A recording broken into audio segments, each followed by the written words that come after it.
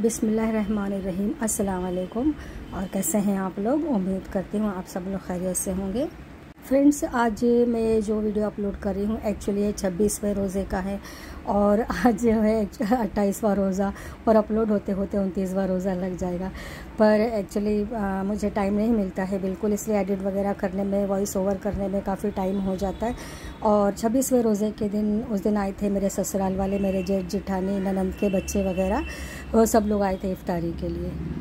और मैं जो भी ब्लॉग्स वगैरह डालती हूँ तो बस उसमें मैं अपनी प्लानिंग बताती हूँ कि मैं किस तरह से काम करती हूँ, किस तरह से अपना टाइम है उसको मैनेज करती हूँ। क्योंकि मैं अकेली हूँ तो अकेले रह के मैं किस तरह से मतलब काम करती हूँ धीरे धीरे करके तो बस यही मैं आप लोगों को बताना चाहती हूँ। तो चलिए, अब हम शुरुआत कर लेते हैं। और जिस दिन से मैंने दावत की तैयारी शुरू की थी, उस दिन था पच्चीसवा रोज़ा। यानी एक दिन पहले से मैंने तैयारी शुरू कर दी थी। तो मैं यहाँ पे कीमे का समोसा बनाने वाली थी। उसके लिए मैंने एक बर्तन में दो टेबल स्पून ऑयल डाला। उसमें मैंने थोड़ी सी प्याज डाली। उसको मैंने कच्चा पक्का सा किया। उसके बाद में मैंने उसमें डाला है दो टी भर के अदरक और लहसुन का पेस्ट। और इसको अच्छे, हम अच्छी तरह से फ्राई कर लेंगे। इसका कच्चापन ख़त्म होने तक हम इसको भूनेंगे। अब इसमें मैंने डाल दी है थोड़ी सी हल्दी। और इसको फिर हम अच्छे से फ्राई करेंगे ताकि हल्दी का कच्चापन भी ख़त्म हो जाए। उसके बाद में यहाँ पे मैंने डाला है कीमा, जो कि मशीन का कीमा है और मैंने इसको अच्छी तरह से बारीक करवा के लिया था। इसको डालेंगे और हाई फ्लेम पे हम इसको अच्छे से भूनेंगे। तो इससे क्या होता है ना कीमे का पूरा पानी है, जो पूरा जो है ना रिलीज़ हो जाता है। इसके बाद में हम इसको सुखाएँगे। अब इसमें मैं डालने वाली हूँ बाकी के मसाले। तो मैंने यहाँ पर ज़ीरा पाउडर, काली मिर्च का पाउडर और गर्म मसाला पाउडर डाला है। साथ ही मैंने यहाँ पे लाल मिर्च का पाउडर डाला है और इसके अलावा मैंने यहाँ पे हरी मिर्चें डाली हैं जिसको मैंने मोटा मोटा क्रश कर लिया है। और मैंने इसमें नमक भी डाला है। एक्चुअली मैं आपको दिखाना भूल गई। इसको अच्छी तरह से हम फ्राई कर लेंगे, भून लेंगे। तो और कीमे को ना हम थोड़ा सा गलाने के लिए रख देंगे। अब इसके बाद में लास्ट में मैंने इसमें डाला है स्प्रिंग अनियन के पत्ते। तो मैंने ना यहाँ पे दो जूड़ी भर के लिए थे। इससे ये बहुत अच्छा बनता है, बहुत टेस्टी बनता है। तो इसको डाल के ना हम हाई फ्लेम पे अच्छे से पका लेंगे।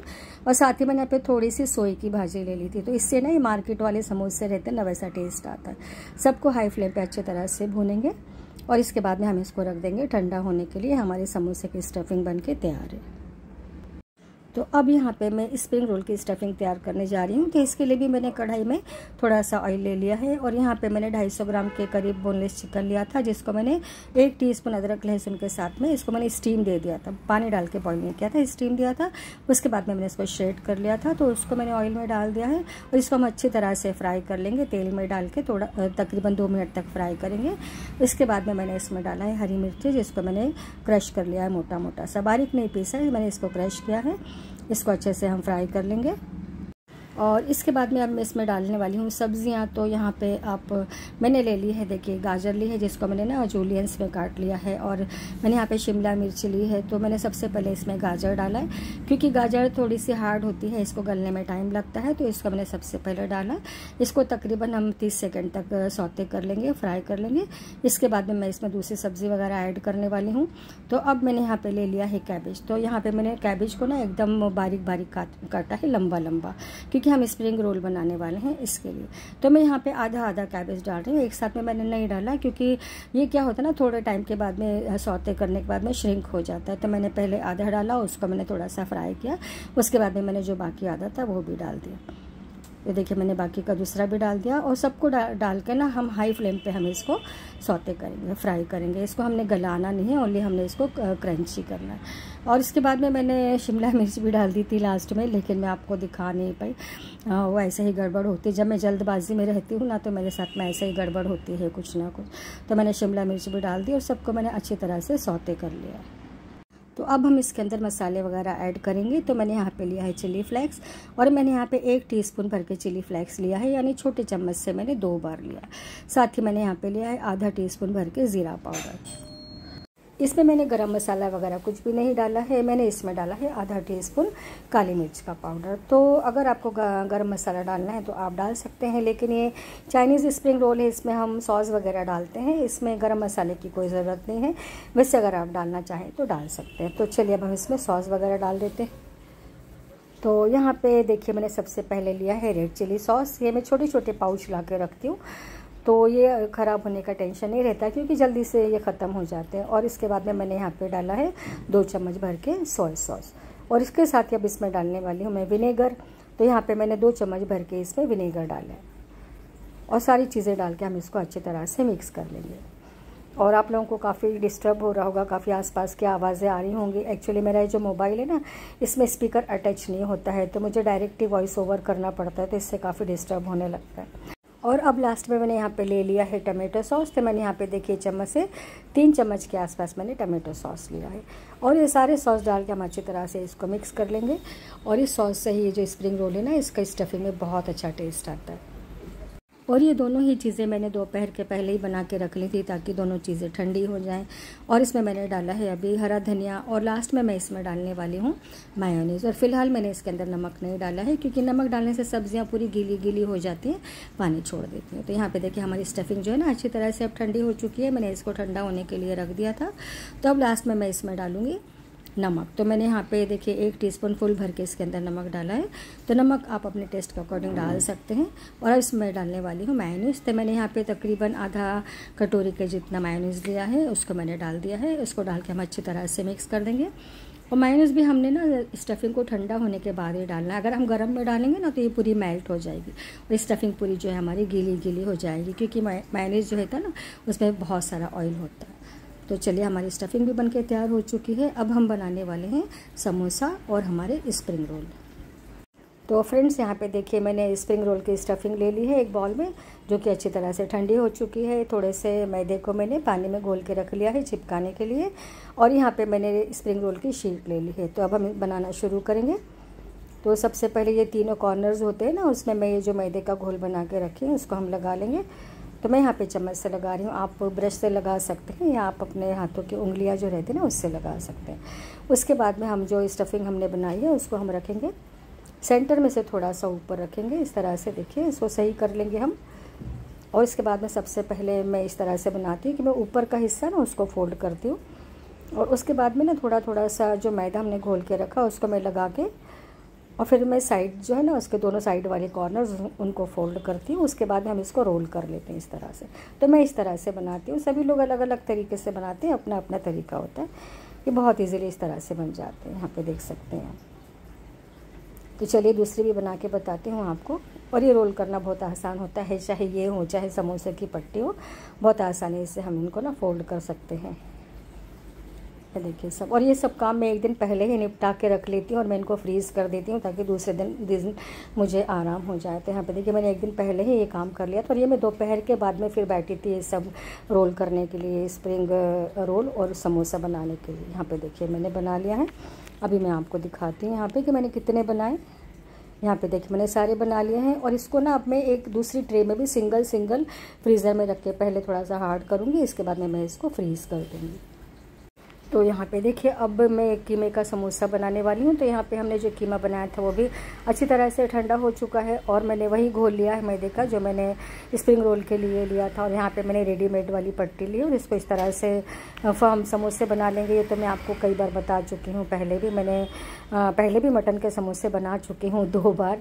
चिकन का आइटम में कम बनाती हूँ, मैंने इस टाइम पर मटन के आइटम ही ज़्यादा बनाए हैं, क्योंकि मेरे घर पर ज़्यादा किसी को चिकन पसंद नहीं है। और देखिए, इस तरह से हम इसको फोल्ड कर लेंगे। बहुत ही आसानी से हो जाता है ये। और रमज़ान में तो खैर सभी को प्रैक्टिस हो जाती है बहुत अच्छी, क्योंकि सभी लोग बनाते हैं, हर एक के घर में बनते हैं समोसे वगैरह तो सभी लोग को बहुत अच्छे से प्रैक्टिस हो जाती है। ये देखिए इस तरह से। इसको भी मैं फ्रीज़ करने वाली हूँ तो मेरा इतना काम जो है ना एक दिन पहले हो जाएगा। और फिर शाम के टाइम पे ना, शाम को नहीं, रात के वक्त बाकी का मैं काम करूँगी, यानी मैं जो रगड़ा बनाने वाली हूँ ना, उसके मैं वटाने भिगा दूँगी। और सेकेंड डे में कबाब बनाने वाली हूँ तो उसका बेसन में भूज के रखने वाली हूँ, फिर उसके बाद मैं कस्टर्ड बना के रखने वाली हूँ रात के टाइम पर तो अभी मैं फ़िलहाल दिन में इतना काम कर रही हूँ, बाकी का भी रात का काम तो सारा बाकी है। तो देखिए, मैंने इस तरह से इसको भी बना लिया है। और यहाँ पे देखिए मैंने यहाँ पे स्प्रिंग रोल को जो है ना जिप लॉक बैग आते हैं ना, उसमें डाल दिया, इसको अब मैं फ्रीज़ कर दूँगी। क्योंकि ये हार्ड हो चुके हैं ना तो अब इनको आपस में चिपकने का कोई टेंशन नहीं है। और इसके बाद में यहाँ पे देखिए समोसे जो हैं, इनको भी मैं सिंगल सिंगल करके ना पहले हार्ड कर लूँगी। जब ये हार्ड हो जाएँगे तो मैं इनको भी ना ऐसे जिप लॉक बैग में डाल के फ्रीज़ कर लूँगी। तो यहाँ पे देख सकते हैं आप, मैंने इनको जिप लॉक बैग में डाल दिया है। ये भी हार्ड हो जाते हैं ना तो आपस में चिपकने का टेंशन नहीं रहता। और सबको अब मैं रख देने वाली हूँ।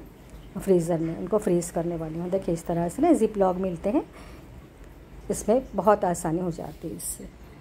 और चलिए, अब मैंने बेसन वगैरह सब भून लिया है और ये रात का वक्त है। तकरीबन सवा एक बजे का टाइम है। तो मैंने पूरी नमाज़ वगैरह पढ़ी, तरावी पढ़ी खाना वाना सब मतलब बना के और फ्री पूरा फ्री होने के बाद में मैं यहाँ पे बैठ गई थी हरा मसाला साफ़ करने के लिए।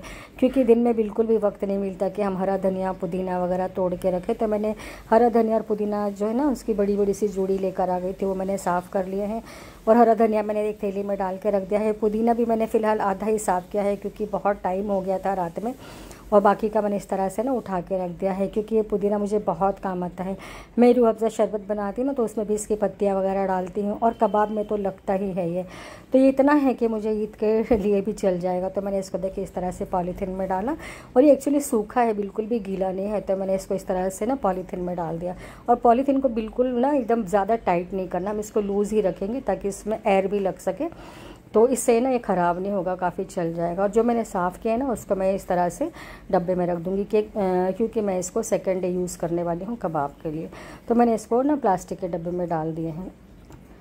और इनको मैं रख दूँगी अभी फ्रिज के अंदर। और इसके बाद में देखिए, मैंने यहाँ पे प्याज ले लिए हैं कबाब के लिए। तो इसका, इसको मैं ना छील के रख दूँगी रात के टाइम में। तो यहाँ पे देखिए मेरा ये काम भी हो रहा है। तो इतना काम मेरे को ना सेकेंड डे कम हो जाएगा। और इसके बाद में क्या हो जाए ना कि हम जो इतना सारा कचरा निकला है तो वो सुबह में चले जाएगा, कचरे वाली जो आती है तो सुबह में ले जाएगी तो एटलीस्ट इतना कचरा भी कम हो जाएगा और मेरा काम जो है ना इतना हल्का हो जाएगा। तो इस तरह से मैं अपने टाइम को देखिए मैनेज करती हूँ एडजस्ट करती हूँ। तो रात के टाइम ऐसे ही होता है, पूरा काम निपटा के और उसके बाद में फिर मैं थोड़ा तहजद वगैरह पढ़ के फिर मुश्किल से मैं आधा या एक घंटे के लिए सोती हूँ और वापस से फिर सहरे में उठ जाती हूँ मैं। तो यहाँ पे देखिए मैंने प्याज को भी एक थैली में डाल दिया, इसको हम रख देंगे फ्रिज में तो मेरे को ना काफ़ी आसानी हो गई मतलब सेकेंड डे के लिए मेरा इतना काम कम हो गया है, क्योंकि मैं अकेले ही करने वाली हूँ, ज़ाहिर सी बात है तो मुझे अपना टाइम कैसे भी करके एडजस्ट करना पड़ता है। और अभी मैं आपको टाइम बताती हूँ कि देखिए टाइम कितना हुआ है, दो बज के दस मिनट हो चुके हैं। और ये अब उससे नेक्स्ट डे यानी छब्बीसवें रोज़े का वीडियो है तो मैं सुबह में, मैं अपने काम में लग गई थी। तो मैं यहाँ पे प्याज काट रही थी तो मैंने यहाँ पे हैंड चॉपर ले लिया, उससे मैं प्याज काट रही थी कबाब के लिए। हालाँकि कबाब के लिए हाथ से प्याज काटेंगे ना तो ज़्यादा अच्छा रहता है चॉपर में थोड़ी सी पानी छूट जाता है प्याज का। लेकिन मुझे फटाफट से काम करना था और मैं सोच रही थी कि थोड़ा मेहनत कम हो जाए, वरना मेरे हाथों की उंगलियाँ है ना पूरी करने लगती हैं, बहुत ज़्यादा प्रॉब्लम होने लगा है अब तो मेरे को। लेकिन मेरे अंदर एक जज्बा है ना कि बस मेरे को करना है, सबको बुलाना है, और मुझे बहुत खुशी होती है सब करके तो। और यहाँ पे देखिए मैंने ये प्याज है ना, इसमें फटाफट से कट जाती है और मैंने सारी प्याज काट ली। इससे ये होता है ना, लेकिन के चॉपर से ना थोड़ा सा पानी छूट जाता है प्याज का। तो उसका भी सोल्यूशन मैंने निकाल ली हूँ, क्योंकि जब हम कुछ करते हैं ना तो हमको अपने आप ही जो है ना थोड़ा सा एक्सपीरियंस हो जाता है कि हमें क्या करना चाहिए। तो यहाँ पर देखिए मैंने थाली में एक पेपर बिछाया और उसके ऊपर से ना मैं सारी प्याज डाल दूँगी। तो और इसको फैला दूँगी और उसके बाद में मैं इसको रख दूँगी पंखे के नीचे। तो क्या हो जाएगा, ये हवा से ऊपर से प्याज थोड़ी सी ड्राई हो जाएगी और जो पानी है ना, इसका वो पेपर पर अपने अंदर सोख लेगा तो ये मैंने आइडिया निकाला कि इस तरह से मैं इसको थोड़ा सा ड्राई कर लूँ। और ये मेरे एरिया में ना बहुत ज़्यादा कुत्ते हैं, सच में वॉइस ओवर करना मुश्किल हो जाता है। कितना टाइम मेरे को रुकना पड़ता है, लेकिन इनका भोंकना ही बंद नहीं होता। तो मुझे ऐसे ही वॉइस ओवर करनी पड़ती है।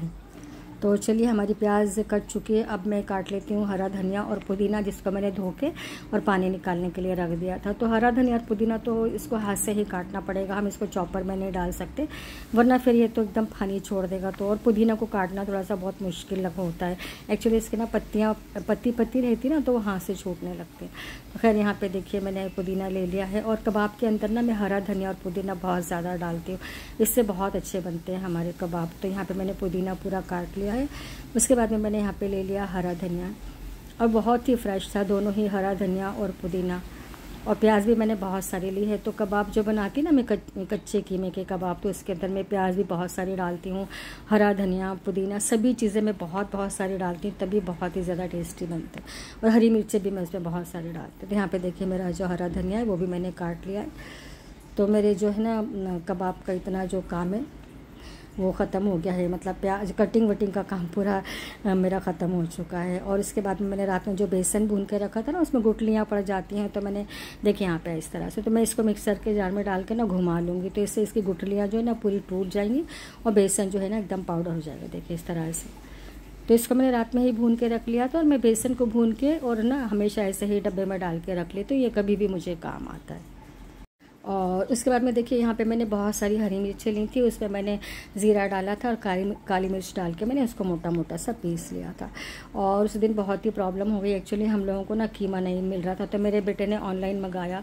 तो ऑनलाइन में देखिए, कितना मोटा मोटा कीमा आया है। तो इस, ये भी एक काम बढ़ गया और शाम के तकरीबन चार बज गए थे। तो अब मैं क्या कर सकती तो फिर मैंने निकाला अपना चॉपर और उसमें डाल के फिर मैंने इसको बारीक कर लिया। तो कभी कभी ऐसा प्रॉब्लम जब काम ज़्यादा होता है ना तो उस वक्त और भी काम बढ़ जाता है। तो ऐसे ही हो गया। मेरा बेटा दो तीन दुकानों में गया, लेकिन दुकानें बंद थी। अब वो शाम को खुलती अगर पाँच बजे के बाद तो मेरी तैयारी कब होती? तो इसलिए उसने ऑनलाइन मंगा लिया। तो खैर अच्छा है कि मेरे पास में चॉपर था तो मैंने चॉपर में डाल के उसको एकदम बारीक कर ली देखिए, इस तरह से। अल्लाह का शुक्र है कि मेरा ये काम भी हो गया। और यहाँ पे देखिए, मेरा जो रगड़ा था ना, वो भी बन के तैयार हो गया था। ये मैंने शाम के वक्त ही बनाया था। तकरीबन पाँच बजे के बाद मैंने रगड़ा बनाई थी, ये भी बन के तैयार हो गया था। और उसके बाद में यहाँ पे मैं कबाब जो बनाने वाली हूँ तो मैं सारी चीज़ें मिक्स करने वाली थी। तो मैंने यहाँ पे देखिए, पूरा कीमा डाल दिया है इसके अंदर। अब इसके अंदर मैं मसाले वगैरह ऐड करूँगी तो इसमें मसाले वगैरह भी ना बहुत अच्छे पड़ते हैं। सारी चीज़ें मतलब इसमें ज़्यादा ही लगते हैं। तो यहाँ पे मैंने कम से कम चार से पाँच चम्मच भर के मैंने इसके अंदर अदरक और लहसुन का पेस्ट डाला। और इसको ना हमने बहुत अच्छी तरह से मिक्स करना होता है, हाथों से अच्छे से मैश करना होता है। अब इसमें मैंने डाला है हल्दी पाउडर, फिर यहाँ पर मैंने डाला है गर्म मसाला पाउडर। और मैंने इसमें काली मिर्च और ज़ीरा ऑलरेडी मैंने मिर्ची के साथ में पीस चुकी थी तो वो मैंने नहीं डाली है। साथ ही मैंने यहाँ पे लिया है धनिया पाउडर तकरीबन दो टीस्पून के आसपास। ये देखिए यहाँ पे मैंने जो है ना, मिर्ची जो है क्रश करके ली थी, वो हम डाल देंगे इसके अंदर। तो हरी मिर्चें भी मैं बहुत सारी लेती हूँ, क्योंकि इसमें प्याज भी इतनी सारी डलती है, बेसन डलता है तो इसमें तेज़ाई के लिए मिर्चें भी ज़्यादा लगती हैं, तभी बैलेंस होता है अच्छा। और मसालों को डाल के ना हमने इसको बहुत अच्छे से मिक्स करना होता है। जितना अच्छे से मिक्स करेंगे ना, उतना अच्छा है बनता है, उतने टेस्टी बनते हैं। और फिर यहाँ पे देखिए प्याज मेरी जो है ना थोड़ी सी ड्राई हो गई है, ज़्यादा तो नहीं हुई, थोड़ी सी हो गई है। तो इसको थोड़ा थोड़ा से मैं डालते जाऊँगी और उसको मैं फिर अच्छे से मिक्स करते जाऊँगी, हाथों से मैश करते हुए। और ये जो कच्चे कीमे के कबाब है ना रियली बहुत ही ज़्यादा टेस्टी बनते हैं। और इस साल मैंने ये पहली बार ही बनाए हैं, वो भी मेरे ससुराल वाले आ रहे थे, उन लोग की ख़ास डिमांड होती है कि उन लोगों को मेरे हाथ के कबाब खाने तो फिर वो लोग आ रहे थे, इसलिए मैंने स्पेशली उनके लिए बनाए थे।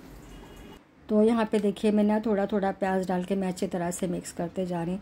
तो इसको इस तरह से मिक्स करना बहुत ज़रूरी होता है। तो इसमें मैं हरा धनिया, पुदीना भी डालूँगी, फिर मैं वापस इसको अच्छे तरह से मिक्स करूँगी, तभी इसमें बहुत अच्छा टेस्ट आएगा फ्लेवर आएगा। तो यहाँ पर देखिए मैंने हरा धनिया और पुदीना ना वो भी इसके अंदर डाल दिया है। थोड़ा सा मैंने उठा लिया है, जो कि मैं रगड़े के ऊपर डालने वाली हूँ, बाकी का मैंने सारा डाल दिया है। और इसको हम वापस से अच्छी तरह से मिक्स करेंगे, हाथों से मसलते हुए ना पूरा मैश कर लेंगे। तो इससे हमारे जो कीमा है ना एक्चुअली कच्चा कीमा है तो इस तरह से मैश करने से ना बहुत अच्छे से ये गल जाता है टेंडर हो जाता है। इसको बहुत अच्छे से मिक्स करने के बाद में फिर हम इसमें मिलाने वाले हैं बेसन। और नमक मैं सबसे लास्ट में मिलाती हूँ। एक्चुअली जब भी मैं बनाती हूँ ना तो मैं इस तरह से मिक्स करके रख देती हूँ और बनाने के वक्त मैं इसमें नमक मिलाती हूँ। लेकिन आज तो मुझे इतना टाइम नहीं है कि मैं इसको रखूँ तो मैं इसमें सब चीज़ें फ़ौरन नहीं मिलाने वाली हूँ। तो यहाँ पर देखिए मैंने बेसन ले लिया है। तो बेसन में यहाँ पे ना अंदाज से डालती हूँ मतलब डाल के मिक्स करती हूँ, फिर मैं देखती हूँ इसकी सही से ग्रिप बन रही है या नहीं। अगर बेसन कम होगा ना तो कबाब टूटने लगते हैं तो हमको इसकी ग्रिप देखना पड़ता है। तो ये भी एक मतलब जजमेंट होता है, अपना थोड़ा सा आइडिया लगाना पड़ता है। तो यहाँ पर मुझे लगा कि बेसन कम है तो फिर मैंने थोड़ा सा बेसन और डाली। और मैं हमेशा भुना हुआ बेसन ही डालती हूँ, क्योंकि कच्चा बेसन डालेंगे ना तो ये काफ़ी स्टिके से बनते हैं। और इसमें ना एक्चुअली जो हमने बाहर से कीमा मंगाए थे उसमें बिल्कुल भी फ़ैट नहीं था। ये कच्चे कीमे के कबाब बनाते ना तो इसमें फ़ैट होना बहुत ज़रूरी है। तो उसका मैंने ये आइडिया निकाला कि मैं इसमें तेल डाल देती हूँ। तो मैंने यहाँ पे दो टेबल स्पून के जितना इसके अंदर ऑयल डाला। और ऑयल डाल के फिर मैंने इसको अच्छी तरह से मिक्स कर लिया है, क्योंकि कबाब है ना, फूलना बहुत ज़रूरी है। अगर इसमें फ़ैट नहीं होगा तो बिल्कुल भी फूलेंगे नहीं और ये क्रिस्पी भी नहीं बनेंगे। सब मैंने देखिए रेडी कर दिया है। यहाँ पे देखिए मेरा कस्टर्ड जो मैंने रात में बना के रखा था ना, उसके अंदर मैंने फ्रूट्स भी काट कर डाल दिए हैं तो मेरा कस्टर्ड भी बन के रेडी हो चुका है शाम तक। तो अब बाकी का बस सब मुझे शरबत बनाना बाकी है तो चलिए अब मैं शरबत बना लेती हूँ। तो यहाँ पे मैंने एक जग में पानी ले लिया है उसमें मैंने शक्कर डाली है और काफ़ी सारा शरबत बनने वाला है। तो मैं इसमें बाद में पानी ऐड करूँगी फ़िलहाल मैं इसमें शक्कर घोल के और बाकी की चीज़ें मिला के इसको मैं रखने वाली हूँ फ्री, फ्रीज़र में ताकि बहुत अच्छे से ठंडा हो जाए। तो शक्कर डाल के मैंने इसको बहुत अच्छी तरह से घोल लिया है। बहुत से लोग शक्कर पका के भी डालते हैं पर इतना झंझट मैं नहीं करती मैं सिंपली बस इसको घोल लेती हूँ। इसके बाद में मैं इसमें डालने वाली हूँ रू अफ़ज़ा। तो यहाँ पे अब काफ़ी सारा मैं शरबत बनाने वाली हूँ तो ज़ाहिर सी बात है, रूह अफ़ज़ा भी ज़्यादा लगेगा इसमें। तो मैंने इसमें जो बड़ा चम्मच होता है ना, उसे दो चम्मच भर के मैंने इसमें रूह अफ़ज़ा डाला। और इसके बाद में मैं इसमें डालने वाली हूँ सब्ज़ी के बीज। जिसको मैंने भिगा के रखे थे, जो कि बहुत ही अच्छा रहता है, बहुत ही ठंडक देता है हमारे पेट को तो इसको मैंने भिगा के रखे थे। और साथ ही मैं इसमें डालने वाली हूँ नींबू का रस। तो इसमें हम फ्रेश नींबू भी डाल सकते हैं, लेकिन मेरे पास में नींबू का रस रखा हुआ ये रेडीमेड वाला है तो मैंने यहाँ पर दो ढक्कन भर के इसमें डाल दिया बहुत ही रिफ्रेशिंग हमारा शरबत बनता है, और इतना टेस्टी लगता है ना कि मैं आपको क्या बताऊँ। और साथ ही देखिए मैंने थोड़ा सा ये जो नमक होता है ना, काला नमक, वो मैंने थोड़ा सा डाल दिया है। बहुत अच्छा शरबत बन के तैयार होता है। अगर आप लोगों ने कभी नहीं बनाया है तो ज़रूर ट्राई करिएगा। और पुदीने की फ्रेश पत्तियाँ रहती हैं ना, उसको धो के उसको हाथ, उंगलियों से ना क्रश करके डालना है। इसको काटना नहीं है। हम क्रश करके डालेंगे ना तो इसका बहुत अच्छा फ्लेवर आएगा। सबको बहुत अच्छी तरह से मैंने मिक्स कर दिया है। इसके बाद में मैं इसको रख दूँगी फ्रीज़र में, ताकि बहुत अच्छे से एकदम चिल हो जाए। बाद में मैं इसमें बर्फ़ डालूँगी। तो चलिए यहाँ पे देखिए, मैंने फ्रिज में से जो हमारे समोसा वगैरह ना, सबको निकाल लिया और अब मैं सब चीज़ें फ्राई करने वाली हूँ। तो फ्रेंड्स से सबसे पहले तो मैंने कबाब से ही शुरुआत की, क्योंकि कबाब बहुत ज़्यादा बनने थे। तो मैंने सोचा सबसे पहले मैं कबाब बनाना शुरू करती हूँ, और उसके बाद में फिर मेरी जेठानी आने वाली थी हेल्प करने के लिए थोड़ा तो फिर वो भी आने वाली हैं तो मैंने उनके लिए रख दिए साइड में समोसे, और हमारे जो स्प्रिंग रोल है ना, वो के वो कर लेंगे दूसरे चूल्हे पर तो मैंने एक चूल्हे पर शुरू कर दिया कबाब फ्राई करना। और यहाँ पे देखिए, मैंने ऑयल डाला था ना कबाब का जो मैंने बनाया था बैटर उसके अंदर तो इस वजह से ना काफ़ी फूल गए। अगर मैं नहीं डालती ना तो नहीं फूलते, काफ़ी मतलब ये हो स्टिकी हो जाते। तो कबाब हम कभी भी बनाएँगे तो उसका कीमा लेते हैं ना हम तो उसमें थोड़ा फैट डलवाना बहुत ज़रूरी है, तभी हमारे कबाब जो है ना क्रंची भी बनते हैं और अच्छी तरह से फूल जाते हैं। और उसके बाद में ना देखिए, मेरा बेटा ना मेरी हेल्प कर रहा है फ्रूट्स काटने बैठ गया है वो। तो मेरा ये वाला काम भी निपट गया है। इतना ही काम कितना हो गया रियली वो तो इसका ही टेंशन रहता कि अभी ये काटना बाकी है। मस्त है कलिंगा एकदम ना और यार खरबूजा सब धो लेना बेटा काटने के पहले।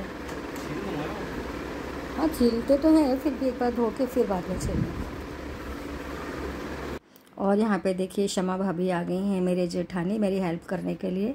शाम के वक्त असर पड़ के आई हैं वो और अल्लाह का शुक्र है कि अब मेरा काम फटाफट से हो जाएगा। वो लोग निकले क्या नहीं? वालेकुम अस्सलाम।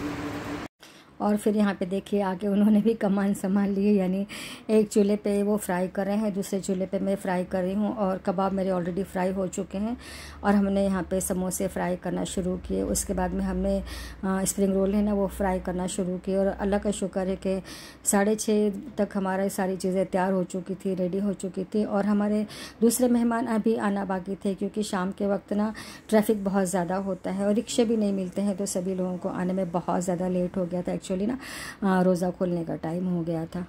और फिर देखिए यहाँ पे नजमा आपा, सलमा, उसकी बेटियाँ हैं, जेठ जेठानी उनके बच्चे हैं और बड़े वाले जेठ अभी आना बाकी हैं। तो हम सब लोगों ने मिलकर रोज़ा खोला बहुत अच्छा लगा। और फिर रोज़ा खोल के सबने नमाज़ पढ़े, उसके बाद में चाय वाय का दौर चला, उसके बाद में सब लोग बैठे हैं, यहाँ पे हम लोग की बातचीत चालू है। और बहुत अच्छा लगता है जब इस तरह से सब लोग मिलते हैं, गॉसिप चालू हो जाती हैं। आज तक एक साइकिल पे ना मालवनी से इटली वाला उधर आता था ट्रेन में। आज वो इटली वाले ने सिर्फ़ साइकिल पे सुबह का धंधा करके रूम भाड़े पे लिए गए, गाला लिए गए उधर आज वो धंधा कर रहा है। वो जो गाड़ी लगा था वो अलग, दूसरा था अपने नागौरी के बाजू में। सुबह तीन घंटा आता वो कम से कम तीन से चार हज़ार रुपये का धंधा करके चला और ये है कादर खान, यानी कि गुड्डू, जिसके बिना तो हमारी महफिल जैसे ना अधूरी रहती है। ये जब आता है तो सच में एक रौनक हो जाती है और इसकी बातें सुनकर ना बहुत मज़ा आता है। सच में बहुत ही ज़्यादा मज़ाक करता है, कॉमेडी करता है और ये किसी इडली वाले की स्टोरी सुना रहा है, सब इंटरेस्ट से सुन रहे हैं। और उसके बाद में देखिए, यहाँ पे यखनी तैयार हो रही है पुलाव के लिए। मैंने यखनी बघार दी है, साइड में कचूमर बनी हुई रखी है। और इसके बाद में यहाँ पे साइड में देखिए चावल धुले हुए रखे हैं तो बस अब खाना बनाने की तैयारी है और रोज़ा खुलने के बाद में पुलाव ही बहुत ही आसान पड़ जाता है। हमारा खाना वालेकुम अस्सलाम। पुलाव बहुत ही बेहतरीन है। सच में सच में। सच में। बहुत अच्छा बना है। शुक्रिया शुक्रिया। ने बहुत अच्छा खाना बनाया शुक्रिया। एक से बढ़कर एक बहुत अच्छा। अलहमदिल्ला चलेगा चलेगा। बहन पीस नहीं ले रहे कुछ भी? क्या खाए? ले ले, सोनो पीस निकल। देख डैडी को नहीं डाला है पीस क्या हुआ भाई? शर्म आ रहा है, क्यों? और उसके बाद में तकरीबन 11 बजे तक सब लोग निकल रहे थे अपने घर के लिए, क्योंकि सभी लोगों को नमाज़ पढ़नी थी शब कदर की।